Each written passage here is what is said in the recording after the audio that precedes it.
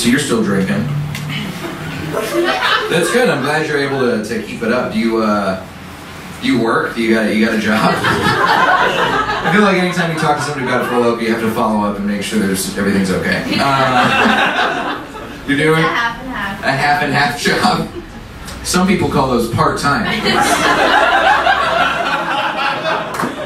Unless it's literally at a dairy where you're like processing half and half. Oh, that's actually a fun training. I saw. I was at a. I was at a. This is perfect. I didn't realize how perfect this was gonna be. I uh.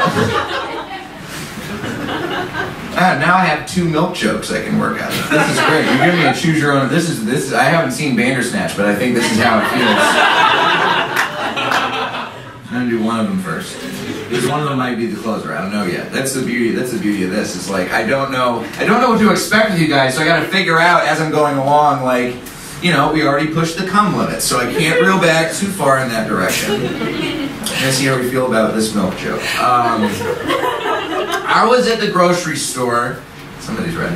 I was at the grocery store, and I saw a bottle of milk, and on the label it said. Milk so fresh the cow doesn't even know it's missing. That's horrifying. I don't want to drink milk from a dairy where they're roofing all the cows. Okay, so we got, got